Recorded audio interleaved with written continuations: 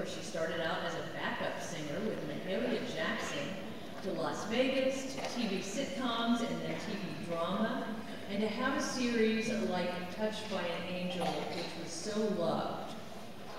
You know, talent can start you off in a career and it can take you some distance, but it really takes character to prevail and sustain a career.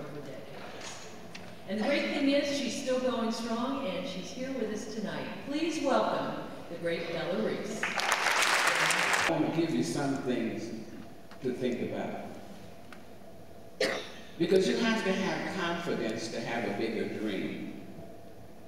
You have to have confidence in you and confidence in God to have a bigger dream. You've got to recognize who you are and accept proudly who you are and what your relationship is with God.